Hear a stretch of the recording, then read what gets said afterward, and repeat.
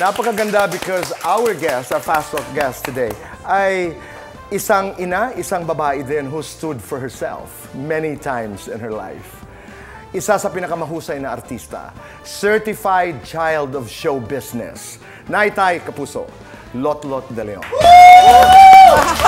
Wow, I'm so honored!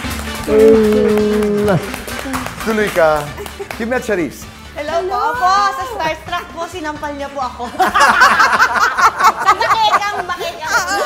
Oh my God, I'm sorry. Hindi naman Hindi po, ang saya po nun. Talaga? Ulitin natin dali. Sinampal ka? Kasi kailangan po yun eh. Sa, Hindi, pero may tanong Sa ako, script. Lot. Halimbawa sa mga eksena na kinakailangan sampalin, how, how do you do it as an actor? Nag- nag-uusap ba kayo o organic ba yon Talagang Di- sampalan? Depende po sa kailangan ng direktor. Alam nyo, hanggang ngayon po, nababasa ko, RD, have you read this?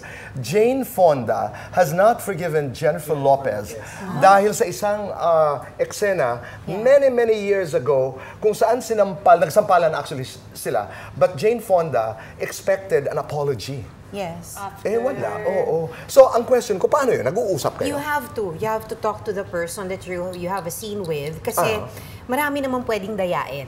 Pero yun na nga, ah, kailangan pareho kayo na okay na gawin yung eksena na yun. Pero hindi ba May nakakabawas ng emosyon ang medyo daya na sampal? consent. Ay, hindi po. Ah, hindi naman. Oo, hindi naman. Lalo na kung magaling din ang ka-eksena. Hoy, hindi pa ako magaling. Hindi, so, so yung inyong eksena, napag-usapan? Opo, Kasi it can be nirehearse partly po. choreographed, partly totoo eh. May dampi eh. No?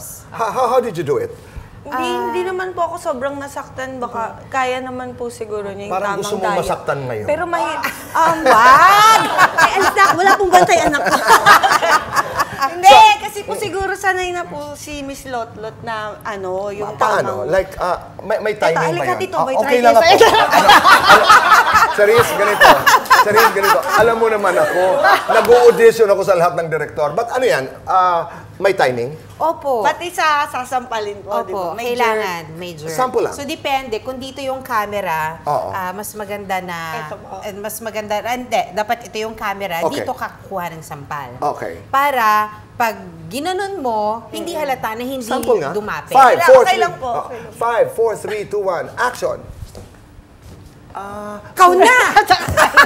So, hindi dumampi, Opo, pero hindi halata. halat sa camera, parang sinampal. Yes. Hindi ko nakita. Papanood nga uli. Nice. Ay, it's a nice technique. Wa- no, no, no. One more time. One more time. Ah, Hindi. ga- ah, wala ka Can, no, no, no. Can you do it? Parang Akala ko playback. playback. Wala tayong playback. Okay. So, Oo. ganito, So, may ganyan. linya. Ikaw, wala kang, oh, okay. Ikaw!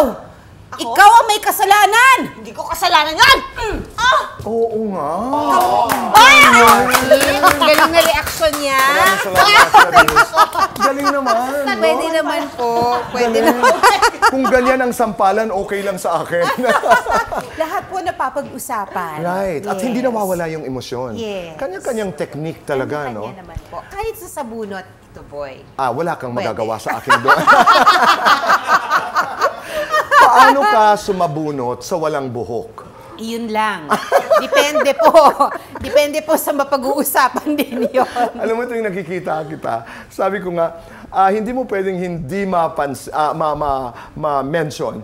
Tuwing nakikita kita, you cannot not mention Lot Lot and Friends. Kasi nga, di ba, when people introduce their friends, oh, halina kayo, pakikilala ko ang Lot Lot and Friends ko. Ibig sabihin, I'd like to introduce my friends. You have become part of that lingo. Sa gay lingo naman, pag sinabing, uy, nanalo ka ba? Lot Lot. Ibig sabihin talo. Pag naririnig, alam mo ito. Opo, I learned I learned about it also. Ah, Aha. kumbaga, meron akong... Mer, mer- minsan kasi, may nag-trending sa Twitter. Lot, lot. Sabi ko, anong ginawa ko? Baka may, may ginawa ba akong mali? Ganun kaagad. Yung pala, ibig sabihin, talo. So may basketball game, volleyball game, anything sports, Okay. or anything, lot-lot ang ganitong school, or lot-lot si ganyan. Mm-hmm. Sabi ko, ay, okay. Ang ginagawa ko dyan. You have become part of the meme culture din.